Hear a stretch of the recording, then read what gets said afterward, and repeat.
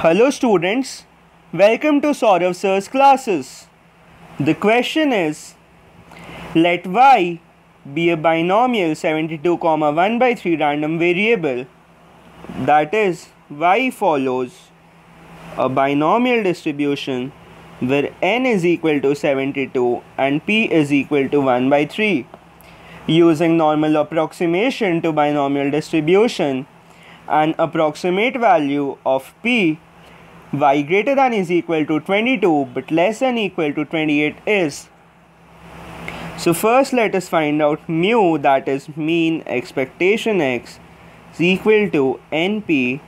is equal to 72 into 1 by 3 which is equal to 24. Similarly sigma squared that is variance of x is equal to npq is 72 into 1 by 3 into 1 minus 1 by 3 so that is 72 into 1 by 3 into 2 by 3 which is equal to 16 now probability 22 less than equal to y less than 28 written as probability 22 minus 24 by 4 less than y minus mu by sigma by 28 minus 24 by 4. Now, if you are wondering where from where this 4 came from, it is, it is actually equal to sigma. Now, since sigma squared was 16, so sigma is equal to 4. Now, this can be written as probability minus half less than z less than equal to 1 which becomes probability z less than equal to 1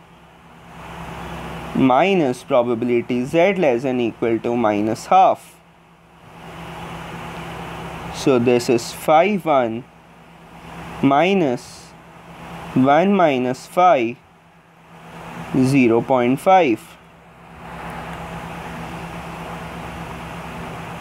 where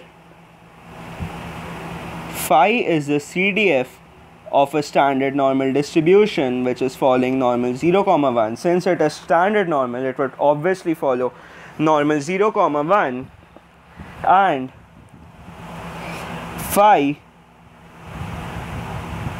of minus x is equal to 1 minus phi x since the normal distribution is symmetric. So this comes out to be phi 1 min plus phi 0.5 minus 1. Now using the standard normal tables you get cap phi 1 to be equal to 0.8413 and phi 0.5 to be 0.6915 minus 1 which is 0.5328 so the answer is 0.5328 the next question is let x be a binomial 2 comma p variable and y be a binomial 4 comma p random variable where p lies between 0 and 1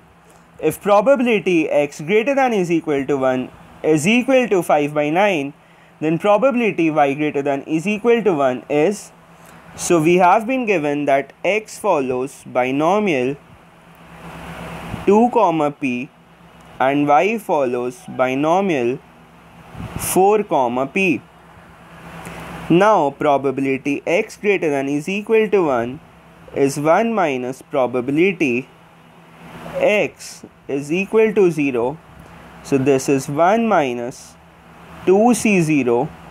p to the power 0 into 1 minus p squared which is 1 minus 1 minus p squared. Now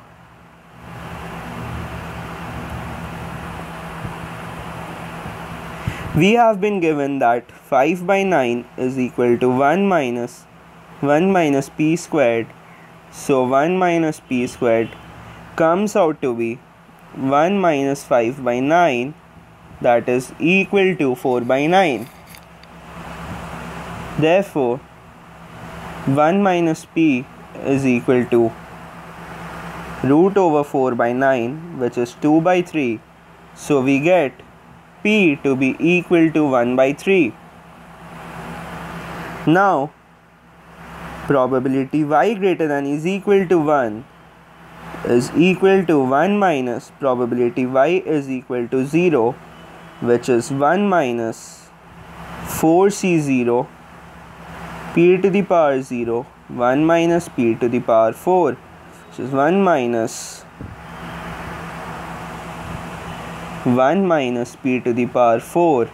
so this is actually 1 minus 1 minus 1 by 3 to the power 4